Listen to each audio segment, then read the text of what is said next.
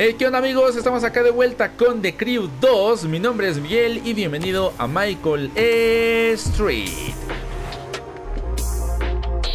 Bien, hoy te traigo nueva información sobre el futuro de The Crew 2, que realmente solo es para estar más tranquilos, de que Ubisoft está trabajando para traernos esa nueva entrega DLC o de igual manera puede ser un nuevo título. La última información que se tiene es que Project Orlando sería un DLC para The Crew 2, pero después Ubisoft habría descartado este proyecto y estaría destinado a ser una nueva entrega de la franquicia de Crew, llevando por título The Crew Orlando. Respecto a la ubicación donde estaría ambientado el juego, no se ha revelado ningún cambio y sería en la isla en Hawái de Oahu. Al igual que también se tiene previsto que el juego tendrá un nuevo motor gráfico, cambio de físicas y más. O sea, prácticamente este juego sería un cambio de cara a lo que ya vimos con The Crew 1 y The Crew 2. Bueno, hasta ahí todo bien, ¿no? Ya sabíamos que pues iba a ser una nueva entrega, que ya no iba a ser un DLC para The Crew 2 pero justamente hace tres meses se reveló más información respecto al nombre de esta nueva entrega.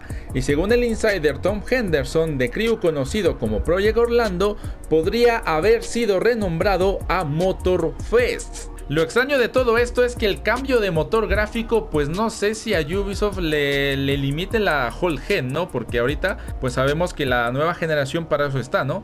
Para aprovechar un poco más el disco de estado sólido, para pantallas de carga más rápidas, para incluso que si quieres meterle más calidad gráfica a los juegos, pues también, para más FPS, para más estabilidad. O sea, las nuevas generaciones están para eso. Entonces yo creo que también podría darse la novedad de que Ubisoft realmente esté trabajando ahora en un nuevo proyecto, en un nuevo juego, en un nuevo título. Pero eso ya lo sabremos después, ya que Ubisoft nos deje ya así sin estar cegados, ¿no? Porque en verdad es una información para hablar de muchas cosas y para especular muchas cosas, pero en verdad que Ubisoft tendrá la última palabra. Y en verdad que hablando yo como jugador de The Crew 2, espero que esa nueva entrega, ese nuevo DLC o ese nuevo título satisfaza lo mucho que ha dejado de Crew 2. O sea, sabemos que el de Crew 2 pues está buenísimo, pero tiene sus detallitos, tiene sus cositas mejorables, claro que sí. Es el único juego que he visto que lo ha actualizado hasta el momento, o sea, desde el 2018 que salió de Crew 2, no nos ha dejado sin contenido y eso hay que agradecérselo bastante porque si no, este canal no existiera, pero ni para atrás, hermanos, de verdad.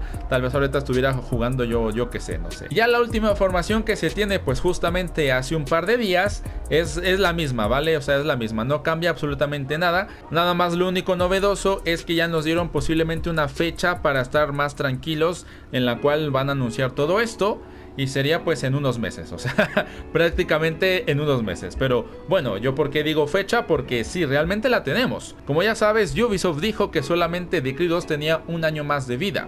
Eso quiere decir que como a mitad de año ya podemos llegar a tener nueva información de este nuevo de Crew 3, de esta nueva entrega, de este nuevo juego, de este nuevo DLC, de este nuevo título, no sé, no sé qué sea, pero ya posiblemente tengamos más noticias a mitad de año. Es una aproximación igual y podemos tener información antes. Ahora, respecto a la fecha de salida de este juego, según lo que nos menciona Tom Henderson, es que puede llegar en el año del 2024. Realmente, si nos anuncian algo ya en, por ejemplo, a mitad de año y el juego sale en diciembre, estaría de lujo, ¿eh? estaría completamente de lujo. Y justamente The Crew 1 salió el 2 de diciembre del 2014, así que la idea no está tan descabellada para que The Crew 3 o The Crew Motorfest o como se vaya a llamar esa nueva entrega, pues justamente salga a finales de este año para iniciar ya con todo el 2024. En fin amigos míos, ya solamente queda esperar a Ubisoft a que nos confirme todas estas teorías y ya que por fin nos diga algo, hombre, ya hermano, ya es 2023, por favor, hombre. En verdad hace falta algo diferente amigos míos y no digo que las temporadas estén malas, pero en verdad ya queremos ver algo diferente, algo distinto, por favor.